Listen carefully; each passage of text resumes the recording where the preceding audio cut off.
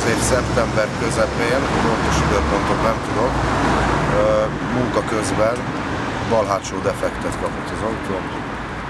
Nem volt semmi másra időm, csak hogy az út bal szélére irányítsam az autót.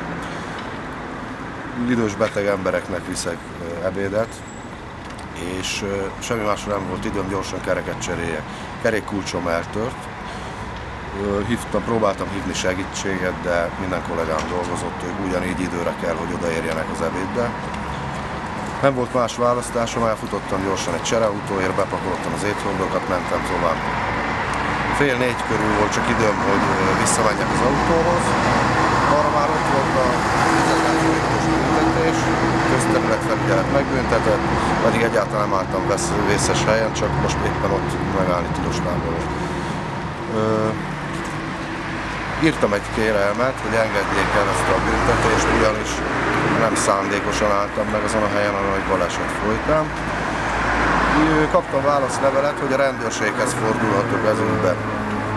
Rendőrségnek is megírtam ezt a kérelmet, felhoztam több pontban, mentségemben már dolgot, és ők küldtek nekem a válaszlevélben egy 20 ezer forintos csekket, ami már nem 10 volt, hanem 20 ezer forint, ezt végül is indokolni nem indokolták meg.